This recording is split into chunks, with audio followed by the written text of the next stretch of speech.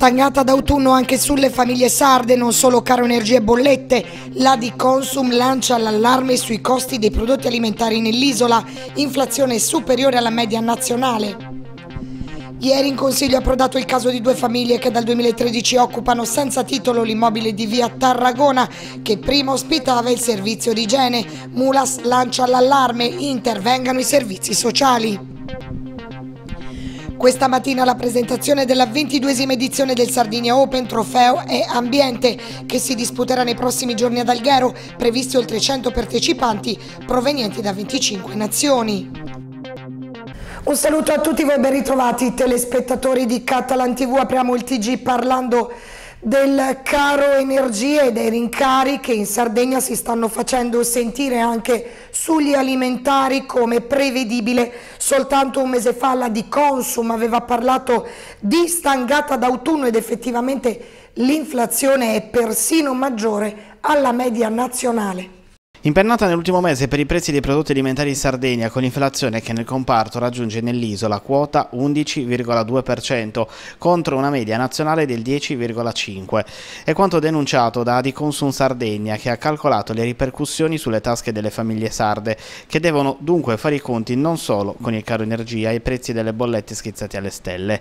Considerati i dati dell'Istat, oggi ogni singola famiglia residente in Sardegna è costretta a spendere 574 euro in più su base annua solo per mettere il cibo in tavola, spiega il presidente di Adiconsum Sardegna, Giorgio Vargiu.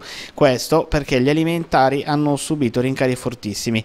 I prezzi sono cresciuti nell'ultimo mese del 10,2% a Cagliari, dell'11,7% a Sassari, con il record che spetta a Olbia Tempio, dove i listini di cibi e bevande sono aumentati in media dell'11,8%. Il mercato è totalmente in mano agli speculatori e per combattere la speculazione servirebbe ritornare ai prezzi amministrati dallo Stato, sostiene Vargio, che guarda però dopo il 25 settembre. Il nuovo governo dovrà necessariamente adottare misure urgenti per bloccare i prezzi dell'energia e quelli dei carburanti, interventi per detassare i listini dei generi primari come gli alimentari e modificare il decreto sulla tassazione degli extra profitti delle società energetiche, portando la stessa almeno all'80%, conclude il presidente di Adiconsum Sardegna.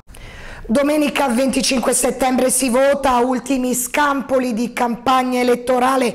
Domani infatti si chiude. Oggi nel nostro TG spazio a Mario Perantoni, deputato uscente, candidato del Movimento 5 Stelle per la Camera all'uninominale del Collegio di Sassari.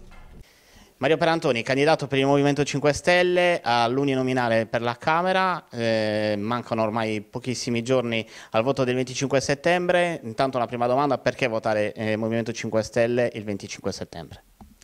Il Movimento 5 Stelle ha realizzato l'80% del programma che avevamo presentato agli elettori nel 2018.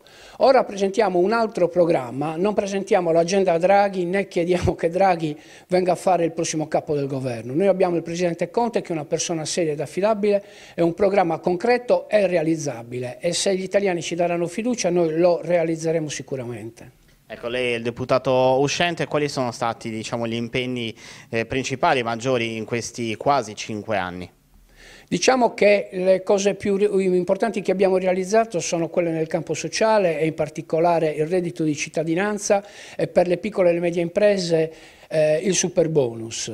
Eh, io mi sono impegnato moltissimo per quanto riguarda il fine vita, la, uh, legali, la mm, regolamentazione della coltivazione domestica della cannabis e sono dei temi che io vorrei assolutamente portare avanti, così come vorrei portare avanti ancora eh, la tutela dei diritti delle persone LGBT. Ecco, per quanto riguarda la Sardegna, quali sono le istanze da portare in Parlamento? La Sardegna soffre da decenni di carenze eh, croniche, eh, infrastrutture, trasporti, adesso anche il costo dell'energia. Eh, io credo che eh, prima di tutto deve essere la giunta regionale, eh, la, noi sardi che dobbiamo proporre e portare avanti le nostre battaglie qui in regione. La regione deve essere un'interlocutrice del governo. Noi sardi in, a, a Roma faremo tutto quello che è possibile per la Sardegna. Prima di tutto trasporti e prima di tutto costo dell'energia. E ieri è tornato a riunirsi il Consiglio Comunale, tra i punti ha affrontato quello del rinnovo del Collegio dei Revisori dei Conti per il periodo 2022-2025. Si è poi parlato delle lottizzazioni di Sant'Imbenia sulla base di un ordine del giorno presentato dal Movimento 5 Stelle. In merito verrà presentata una risoluzione, ma ieri in Consiglio, nello spazio dedicato alle brevi segnalazioni, è approdato anche il caso di due famiglie che dal 2013 occupano senza titolo l'immobile di via Tarragona che prima ospitava il servizio di igiene. Il Tribunale Penale di Sassari ha emesso il decreto di sequestro preventivo, gli inquilini avranno ora 30 giorni di tempo per sgomberare i locali. Oggi nel periodo più difficile di sempre tra pandemia, crisi economica, sociale e sanitaria e aumenti di energia elettrica assistiamo a uno sgombero esecutivo nei confronti di due famiglie che oltre a non avere reddito hanno anche due minori in condizioni di disabilità, ha detto Cristian Mulas, consigliere comunale dell'Udc e presidente della Commissione Sanità. Comprendo tutto e la legge va sempre rispettata, ma mi chiedo perché oggi, perché in dieci anni non è stato fatto niente per aiutare queste famiglie e in generale tutte le famiglie che sono senza casa, perché da troppi anni non si riesce a costruire una casa popolare, si è chiesto Mulas. Sentiamo proprio un estratto del suo intervento in consiglio. Ci sarà lo scontro di due famiglie, di due famiglie con un preavviso di 30 giorni che hanno a carico 4 minuti, di cui due minori, lo dico bene in termine tecnico, due minori disabili con comma 3 articolo 3, comma 3 articolo 1. Ovviamente, perdonatemi perché sono molto arrabbiato, perché credo che queste cose non devono accadere. Ovviamente occupare uno stabile pubblico, quello che c'è in via Tarragona, non è, è un reato. E i reati non vanno mai giustificati perché non si devono occupare le stabili, non si devono occupare appartamenti. Perché il reato di occupazione abusiva di una struttura pubblica è un reato, lo ribadisco. Ma io vi dico, dopo dieci anni, dopo tre amministrazioni, dopo tre sindaci, oggi arriva uno sgombero, con, cioè dieci anni, dieci anni, tre sindaci, tre amministrazioni, oggi lo compra a una famiglia che non ha un credito, in grande difficoltà, che ha sbagliato, perché ha sbagliato, ma oggi la buttano fuori di casa così, 30 giorni di tempo. E mi chiedo, il dramma di questa famiglia, il dramma di questi bambini, chi lo paga? Ma chi lo paga questo? Ma perché dobbiamo arrivare a questo punto? Perché all'interno dei servizi sociali, ma non l'assessore, perché non si può puntare di verso l'assessore, ma io punto di verso i servizi sociali, in dieci anni non si è fatto niente per andare incontro a quello che è un disagio. E ricordiamoci che questo disagio è un disagio che stanno provando tutte quelle famiglie che oggi non riescono ad avere un appartamento. Sono tutte quelle famiglie che oggi sono in difficoltà, che sono costrette a occupare per avere un appartamento. E io oggi qui, come rappresentante e come ruolo istituzionale, mi sento, mi fa schifo quello che sta succedendo. Ci fermiamo, c'è la pubblicità tra poco. Tre giorni di guida in sicurezza per la Brigata Sassari, sino a oggi in collaborazione con l'Automobile Club di Sassari, gli istruttori ACI Ready to Go, con il supporto del Comune di Sassari, Polizia Locale e Confalonieri Auto, iniziativa in occasione della settimana europea della mobilità. Si tratta del terzo progetto realizzato dall'Automobile Club d'Italia dopo quelli di Torino e l'Aquila con la Brigata Taurinense. Lo scopo formare e sensibilizzare il personale dell'esercito sulle principali tematiche dell'educazione stradale e della sicurezza. Due cicli quotidiani di formazione del progetto a Sassari, due ore di teoria presso la sede della Polizia Locale e tre di pratica in Piazzale Senni, coinvolti oltre 180 militari della Brigata Sassari.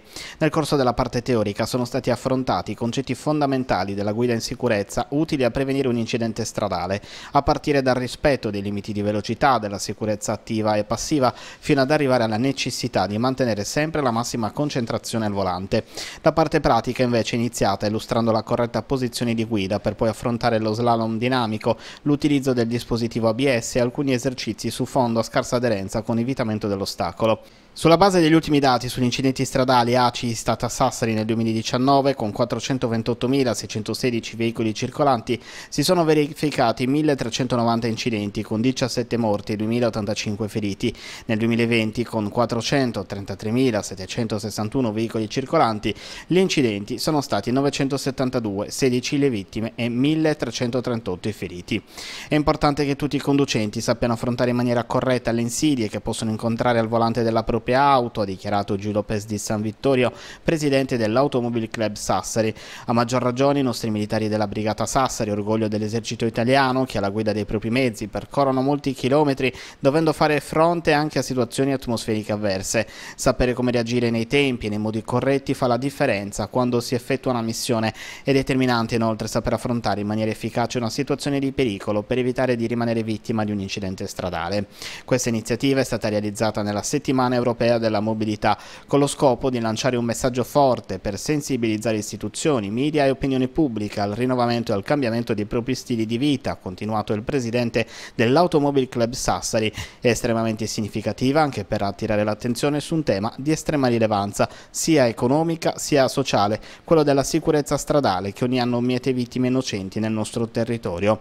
La mobilità presente e futura non può che basarsi sia al rispetto dell'ambiente che sull'adozione di comportamenti corretti corretti da parte di tutti, automobilisti, motociclisti, ciclisti e pedoni, ma anche quelli a cosiddetta mobilità leggera, monopattini e biciclette elettriche sempre più utilizzati in città, concluso il presidente Giulio Pes di San Vittorio.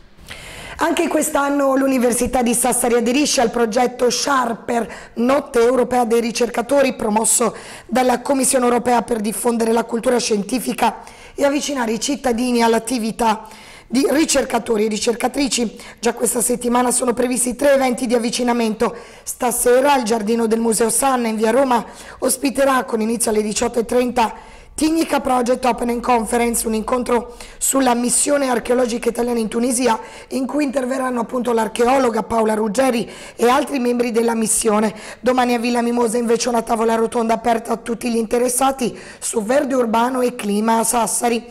Sempre domani, presso la sede dell'ente parco dell'Asinara Porto Torres, si terrà invece a partire dalle 11 un workshop dal titolo Biodiversità, transizione ecologica e parchi naturali. La settimana della notte dei ricercatori si aprirà il 26 settembre per vedere la giornata clou il 30, che sarà ricca di appuntamenti al polo universitario del quadrilatero in Viale Mancini. Gli spazi dello stesso saranno aperti a tutti, ma per organizzare al meglio le attività della mattinata di venerdì, le scuole sono invitate a prenotare le proprie classi inviando un'email all'indirizzo terza missione chiocciolaunis.it entro martedì 27 settembre. Il programma completo di Sharper Sassari è disponibile sul sito dell'università. Sarà la violinista cagliaritana Anna Tifu, star internazionale di origine sarda, a inaugurare con l'orchestra del De Carolis la stagione lirica 2022 dell'Ente Concerti di Sassari.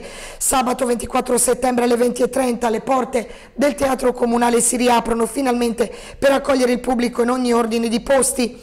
Il concerto, che è fuori abbonamento, prevede l'esecuzione della Sinfonia numero 6, opera 68 pastorale di Beethoven e del concerto in Re maggiore per violino e orchestra dell'opera opera 77 di Brahms.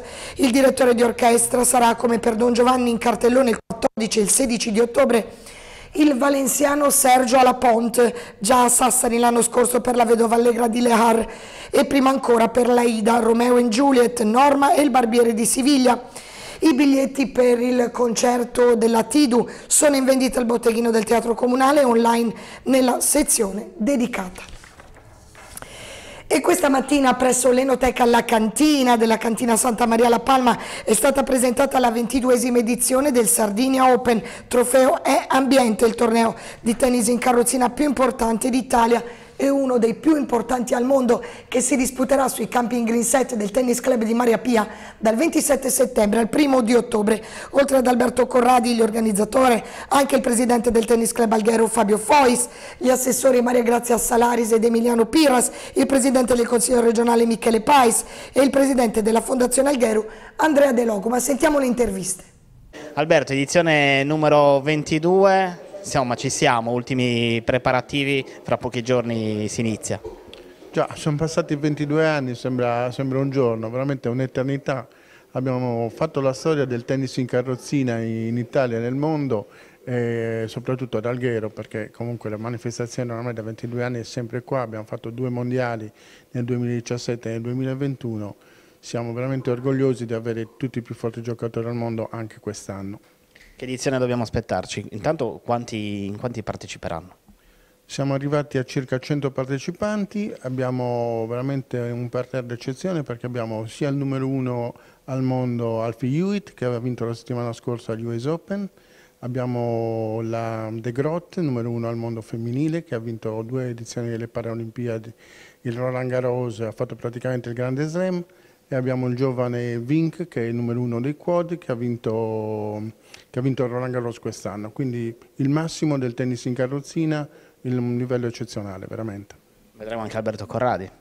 Purtroppo Alberto Corradi è, la carta d'identità non mi perdona e soprattutto i miei gomiti non mi permettono più di giocare, quindi purtroppo Alberto Corradi ha finito di giocare. Assessora Salaris, un altro grande evento sportivo ad Alghero, il Sardinia Open, 22esima edizione. Sì, un evento che si ripete, sicuramente un evento straordinario, saranno cinque giornate di spettacolo, di sport, ma soprattutto credo che dire, lo sport e, e, il tennis in carrozzina rappresentino veramente un'importante lezione di vita sia per gli sportivi che per eh, le persone normodotate, quindi ritengo che saranno sicuramente eh, delle giornate importanti, partecipate, ci saranno oltre 100 partecipanti, i migliori giocatori in carrozzina del mondo e vorrei ringraziare a nome dell'amministrazione comunale eh, il Presidente Corradi che ancora una volta sceglie la nostra città, Alghero, come vetrina vetrina di questo importantissimo evento. Ed è tutto per l'edizione di oggi del nostro telegiornale Ora il Meteo. Grazie per averci seguito. Arrivederci.